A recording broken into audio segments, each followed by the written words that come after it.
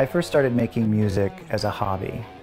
And I was, used to be an actor, and I was in school for theater, and I was in school for like seven years for theater and have an MFA in acting.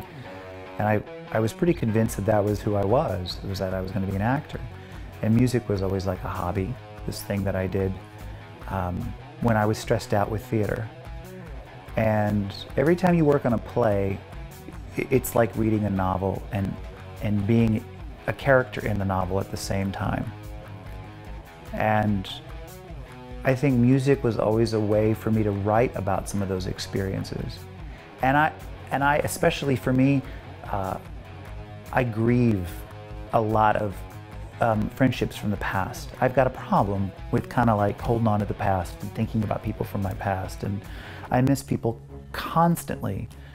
And the thing about music is on the, the first listen of a song that might have meant something to me, a long time ago, an old romance, an old friendship, a vacation, a job that I had in, a, in another city where I might pine for those days.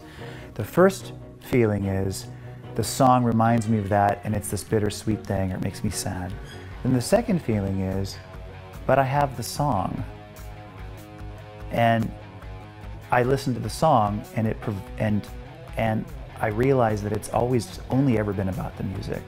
People are very, very important but people also come and go. And people also, there's no guarantees that they're going to be in your life for the rest of your life. You can't hold on to those things.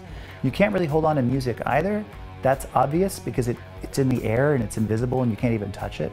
But you can play a CD again. You can play a record again. And it will never leave you. And so I want to I want to make those things.